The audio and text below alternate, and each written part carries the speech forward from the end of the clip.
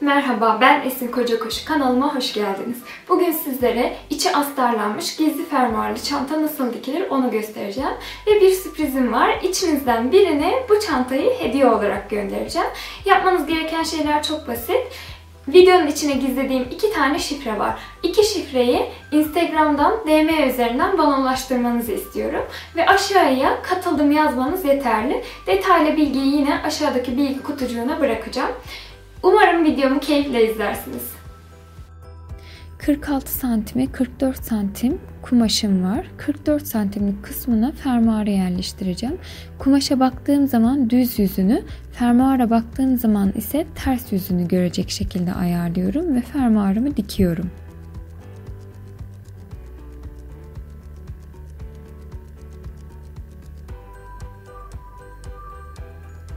Fermuarı kapatarak tırnak ütüsü yapıyorum. Ve astarıma baktığım zaman tersini görecek şekilde fermuarın üstüne yerleştirip tekrar dikişi yapıyorum. Aslında bunu tek seferde geçebiliriz fakat sıkıntı yaşayabileceğimiz için iki seferde geçmeyi tercih ediyorum. Kafa karışıklığını önlemek için bunu yapıyorum. Fermuarı kapatıp başlangıç ve bitiş noktalarını düzgünce ayarlayabilmek için iğneliyorum. Aynı işlemi orta kısmına da yapacağım. Kaymasını engellemek için bunu yapıyorum. Ve fermuarı açıp dikişini tamamlıyorum.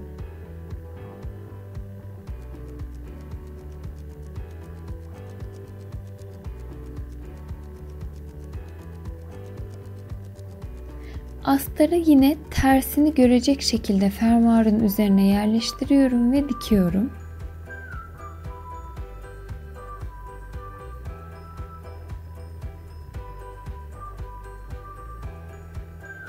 Tersine çevirip yani aslında düz kısmına çevirip genel anlamda kontrolünü yapıyorum.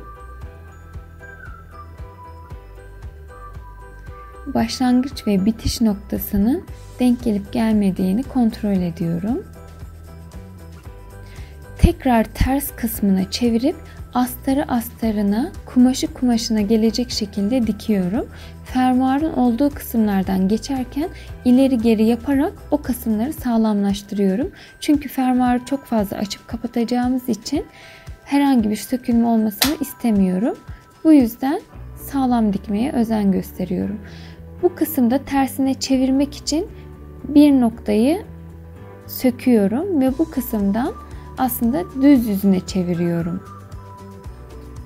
Çevirdikten sonra açtığımız kısmı astar kısmını dikip çantanın tamamen son haline gelmesini sağlıyorum. Astarı içine koyduktan sonra fermuarını kontrol edip kapatıyorum. Son olarak üzerine ben ütü transfer yaptım. Sizler daha farklı şekillerde de süsleyebilirsiniz.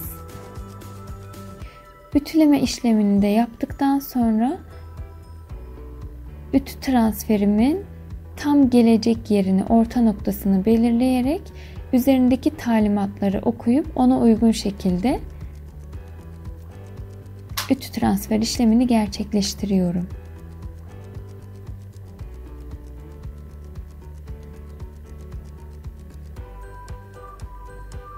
Çantamız kullanıma hazır.